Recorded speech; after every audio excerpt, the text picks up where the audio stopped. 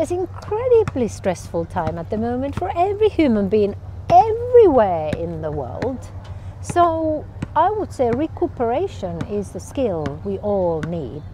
And rarely would we think it's actually a skill to be learned. Um, so, no, rest is not always the answer. It's the opposite activity what you do. So, if you've been still, you need to move. If you be moving, you need to be still. But you know, you need contrast